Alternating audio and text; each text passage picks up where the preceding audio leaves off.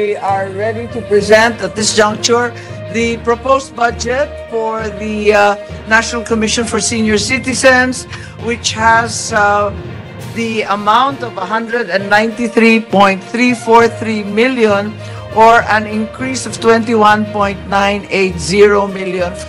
So uh, no amount has been proposed for the Senior Citizen Rights and Welfare Development Program. So uh, the Senate has recommended an additional amount of 40 million to fund the same. We are now ready to uh, answer the questions regarding the budget. Thank you. We are uh, opposed to uh, House Bill 9459 because uh, we want a universal social pension law instead of a mere amendment of this existing social pension law.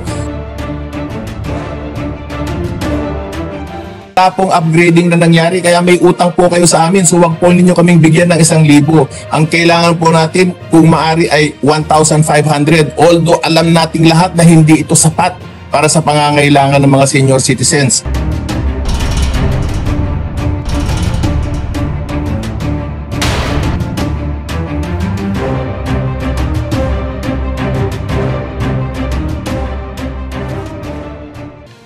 Uh, so, uh, is our commission uh, complete, uh, Madam uh, Chairwoman?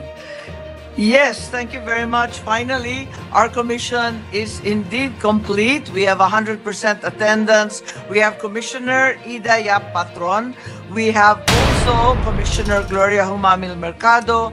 We also have Chairperson Franklin Quijano once again, and we have Commissioner Edwin Galindo Espejo together with uh, uh, Commissioner Enriqueta Roncal Rodeles, Commissioner Ricardo Rainier Guevara Cruz III from the United States, and also we have cleared Commissioner Raymar Reyes Mansilungan, who originally was exposed to COVID but appears to be uh, uh, negative. Ngayon, maybe you can see, we, we can see that the the budget is, anong budget niya? Uh, the budget for the commission is 103 in the gap, 193 million in our Senate committee report, but originally, uh, originally 78 million in the NEP. Ganun po yan, di ba? So, That's correct. akala natin tuloy na, you know, it's just a small agency, but this is a very important agency uh, because it is actually in a uh, transition stage, uh, Ms. Madam uh, Chairwoman. Uh, am I correct in saying that? Yes, that's Yes. correct. Um, it's going through a very difficult and troubled transition from the time it was signed into law on the 25th of July 2019. There have been fits and starts. Kulang-kulang yung mga commissioner na ina-appoint. Pagkatapos yung transfer ng plantilyo mula sa DepEd, eh, natatagalan pati na rin yung ah, iba't ah, DSWD, pati po yung ah, iba't ibang IRR natatagalan. Kulang-kulang pa rin ang plantilla nila sa personnel management at pati yung back kaya hindi nagagastos yung pera. Tignan niyo yung gaano kahalaga po ito kasi sa mga sa sa amendments from the House on the NEP which is not reflected on the agency's budget is a uh, five five billion eh. Five billion amendment from the House to the budget of the DSWD But this is the purpose. Upgrade, upgrade senior citizens pension through, andun yung word eh, through the National Commission of Senior Citizens. So, In fact, Ah, the, that refers, the 5 billion, sir, refers to the social pension. This is the stipend being given out to our senior citizens. Ito po yung 5 billion. Ah, ngunit yung ah, mapupunta na additional sa National ah, Commission, eh 25 million lamang kasi hindi pa nata-transfer yung buong halaga at yung ah, ah, empleyado ng DSWD na may hawak ng social pension But I- I'm, I'm actually pointing out the uh, importance of this agency or the potential energy uh, being stored in this agency because ngayon, 5 billion po yun uh, lodged with DSWD. Pero pag tignan niyo yung description ng item, it is for the social pension of senior citizens through the Senior Citizens Commission. So, there will come a time Am I correct in, uh, in in my understanding of the law and of the recently passed law?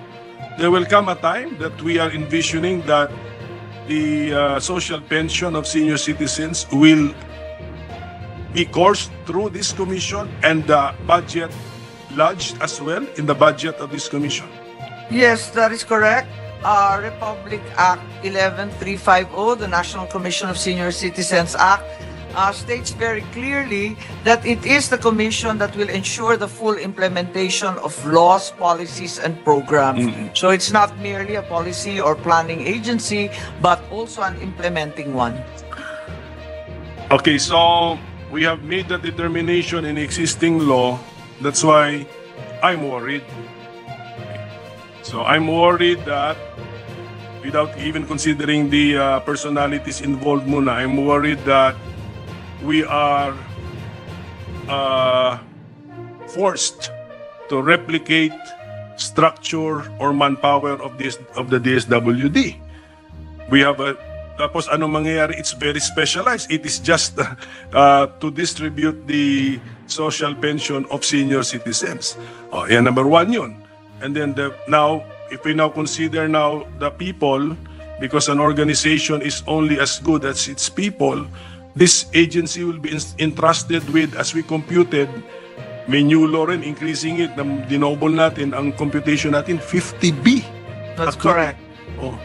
So uh, yun po yun. I mean that's that's that's my worry now but that's but that has been uh, that is our interpretation of the uh, newly recently enacted law. So if my worry is uh, should be shared by a critical number of uh, legislators maybe it's time to revisit that law uh, still keep the social pension, but it's the matter of, you know, who is to distribute the social pension so that it reaches the uh, senior citizen. Do we really need to replicate the structure of the DSWD to do one specialized uh, uh, distribution of uh, benefit, uh, Madam- Mr. President? Um, I suppose, a Minority Leader, that argument can be made because, after all, a much bigger program of the DSWD, for example, the four Ps, or let us say the supplemental uh, or uh, sustainable livelihood, all of these programs and Kalahi Seeds, these are much bigger programs, but they don't have individual agencies implementing them, unlike uh, the senior citizen stipend. However, it should be noted that all the senators of the 17th Congress were co-authors. Yes. This passed unanimously in 2019. But now that we are realizing the the, Right. the impact, eh, so uh, what would be the cost impact of this? Uh, because I think the uh, if we can ask the commission uh, from in their understanding of the law, let us assume, assuming lang that there's, they're now functioning no, normally or properly uh, in accordance with law, is it their expectation that they will have a DSWD-like structure, press be present in all uh, provinces, re- regions, provinces, municipalities, so that the the social pension fund can really reach the uh, beneficiary? Well, just in terms of personnel minority leader, it should be uh, noted that uh, just recently the commission got the approval of DBM for 206 items, when in fact what would have been transferred from DSWD was a mere 57 personnel. So right off the bat, you can see na lalaki ang overhead nito at ah, tulad nga ng ah, bawat ahensya, eh may kailangan na kanyang personnel, kanyang logistics, kanyang opisina.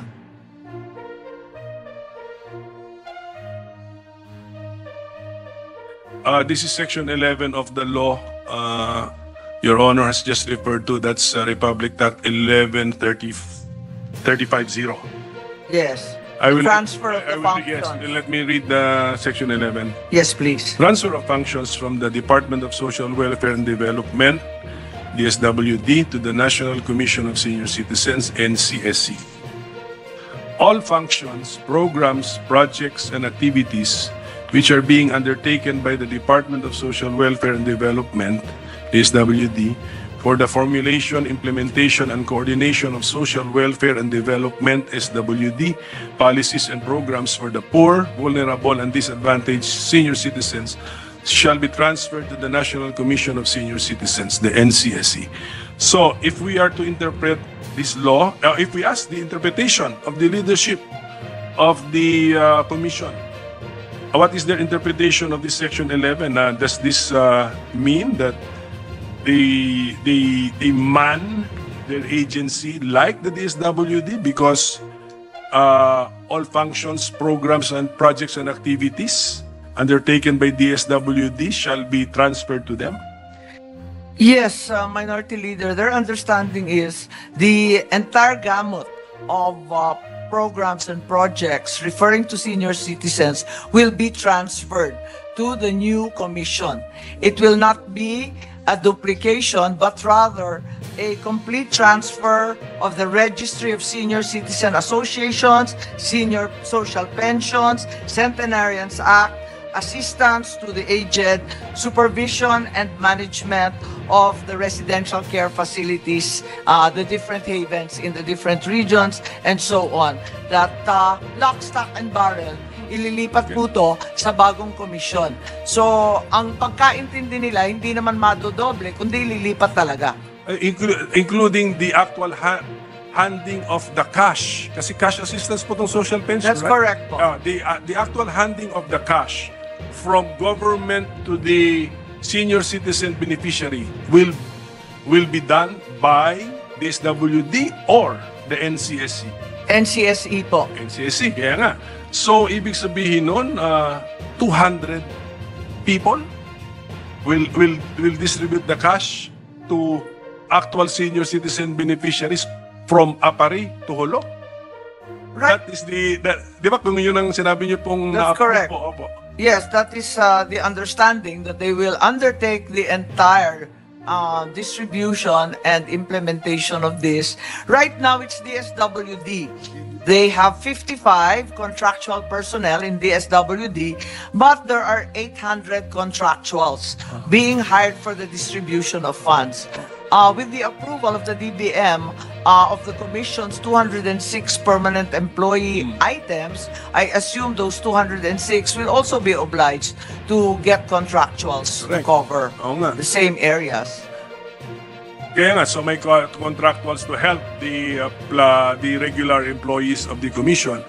Just as now, the DSWD will retain the, the contractuals they're hiring to, to, to distribute some programs less the senior citizen uh, social pension. The understanding is uh, both the uh, 55 DSWD personnel as well as the 800 contractuals will, to some degree or another, be absorbed by the Commission.